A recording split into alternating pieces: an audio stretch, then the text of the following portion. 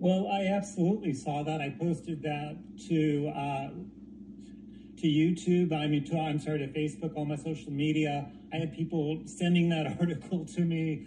I, I mean, it, it's one of those things you can proclaim we've passed this, but we've sort of already known that we've passed this for a while. I mean, the we've had these coral bleaching events going on right now. You know, what they're saying is is 80% uh, of coral will be dead by the I, I don't know whether it's 2050 or the end of the century, but but they're not saying like like right now today everything is dead, the coral reefs are dead. They're just saying that the death of coral reefs is now unstoppable, right? So that's the tipping point. It's important to understand because the communication about whether that that um, this is not something that's happened today, right? This is a tipping point that you the chair is falling over. You can't stop it anymore, and that's where we are with coral. So I think that that that's certainly um, alarmism, and you know you see that breakthrough. CNN reported it, and, and it's actually been a headline that's that's been in the news, which is sort of striking uh, amid what's going on in the Middle East and with with the, all the other political things internationally to actually have a climate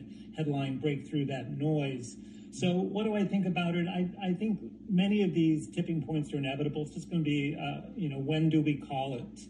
Uh, it's certainly going to be the case with the AMOC, the uh, you know the circulation, the ocean circulation. It's going to be that way with the Amazon, with Greenland ice, with boreal forests. So I mean, there's a lot of these tipping points um, that are, are coming up, and we could call all of them in the sense that they're inevitable now, given the rate of rise of, of greenhouse gases, the rate uh, of acceleration of global temperatures. It's not like you know, these things aren't going to happen.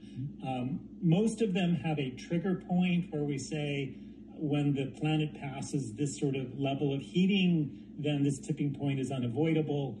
And so we're sort of passing the first one of those with 1.5 C, although I believe in the report they said it was 1.2 C was the actual tipping point for the coral, right? And, and we've blown past 1.2 C now um, you know, internationally. Um, so, you know, I think there's a, a, few more of these that are going to come before we hit 2.0. Mm-hmm. So look for this headline to repeat in the near future. Yeah,